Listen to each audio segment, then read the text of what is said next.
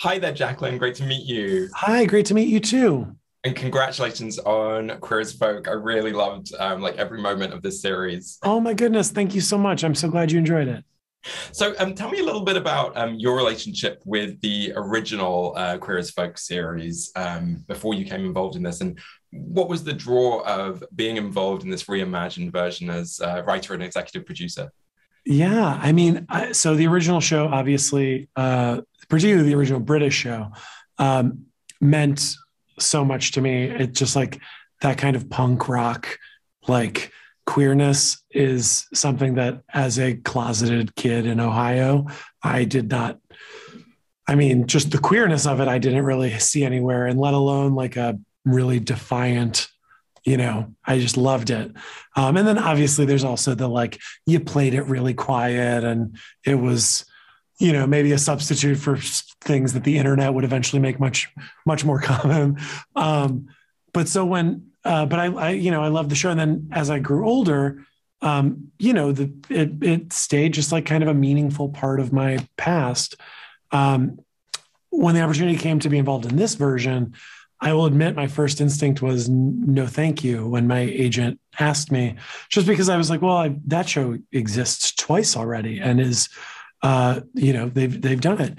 And she she pushed me to just read the script, and I read Stephen's pilot script, and I fell so hard in love with these characters and the setting, and just I don't know. It, it became really self evident why remaking the or reimagining the show made so much sense. And then I felt dumb because I'm a theater kid, and I'm like, well, yeah, we do revivals constantly because you know, uh, whatever. Arthur Miller, A View from the Bridge means a lot, means something different in 19 seeing a production in the 70s versus seeing a production today.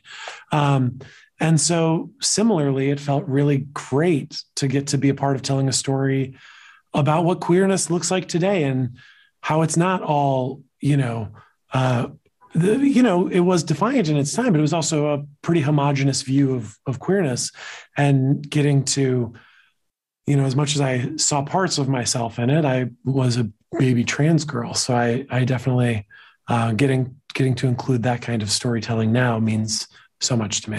And Jesse James Keitel told me that um, when it came to episode six, getting to see the young Ruthie was something that um, you know she, she was keen to do with with the um, with the character. Can yes. give a little bit of an insight into um, into being involved in writing that and yeah. why, why you thought it was sort of powerful to um, to look back and it was all very delicately handled i think and, and and very powerful thank you that so that story this the flashback story in that episode is is uh, very autobiographical i went to an all-boy catholic high school um, that we recreated in a lot of ways uh, down to the jug card for detention the justice under god that is a staple of my high school. Um, the uniforms, everything, and honestly, um, I will admit I was hesitant about Jesse playing that part at first. Not because I didn't think Jesse could do it.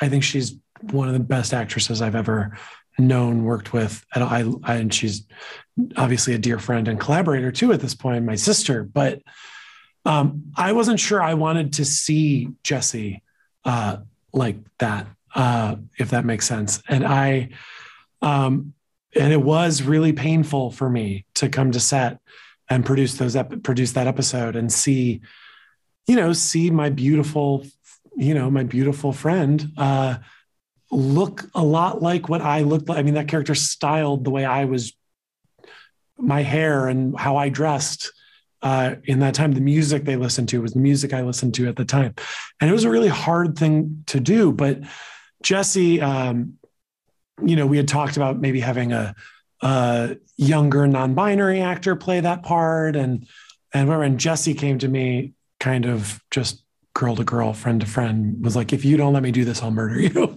and I and she said it nicer than that, but only a little bit.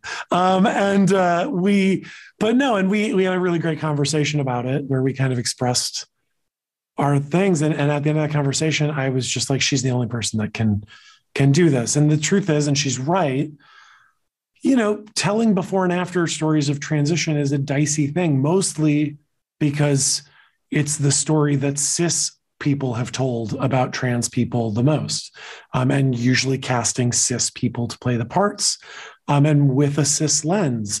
And um, it was very important to me to tell that story because that's part of my that's my story. It's, I mean, the monologues in that episode are my youthful experience. Like that's my what my life is and was.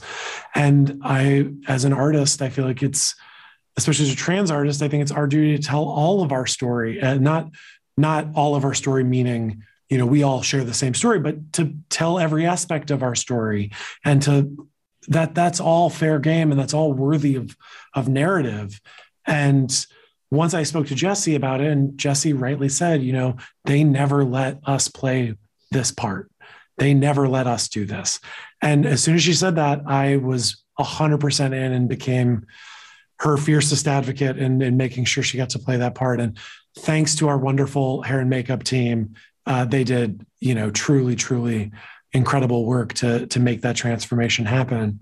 Um, and yeah, it, it I'm so proud of that episode. I, it's uh, it's very close to my it's very close to my heart, and and getting to tell that story with Jesse the whole way through really just uh, is is probably honestly the greatest moment of my career uh, to this point. I, I, it just means so much to me.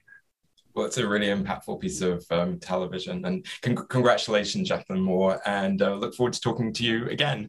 oh, please, yes, thank you. It was so nice to meet you. Great to meet you too. Thank you. bye bye.